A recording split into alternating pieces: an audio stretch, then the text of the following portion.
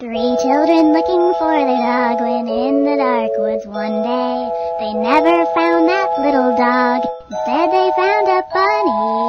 Big bunny, big bunny. They found a really large bunny. Big bunny, big bunny. A special bunny friend.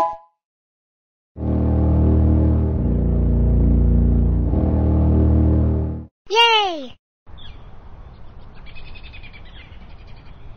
Ah! The boy and girl have grown large ears. Silly bunny, they aren't real. What? Why are you trying to be bunnies? Tomorrow's Easter. What is this Easter? It's a holiday where a fluffy, cute Easter bunny hides eggs in bushes for children to find. Ah, ah, ah, ah, ah. That is silly. Why would a bunny have eggs? Bunnies do not lay eggs. Well, they're not real eggs. They're plastic eggs filled with candy. I do not lay candy either. Maybe this bunny is a tender chocolate chicken in disguise. No, I don't think so. Hey, where's that cat Lulu gave you last time? I do not know. Kitty, Kitty, come here, tender nibble. Hmm. He is not here right now. He must have gone out for a snack. Oh.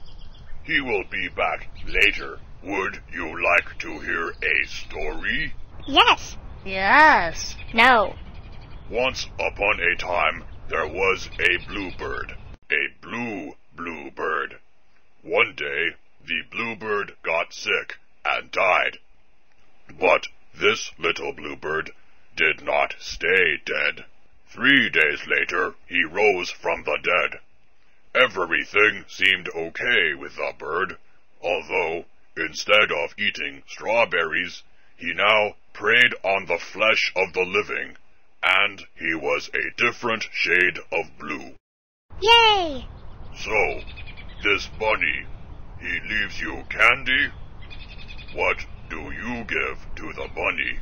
Nothing. I think he does it for free. Oh, how terrible. Tonight you should go home and put cheeseburgers on your lawn so that the poor little bunny will have something to eat. Uh, where do you live anyway? In the Crusty Pines Executive Housing Complex? Phase two. You don't tell people where you live. Don't you know anything? He's not people. He's a bunny. He's fuzzy. Let's go get cheeseburgers. Okay. Bye bye, children. Eat lots of candy and egg yolks.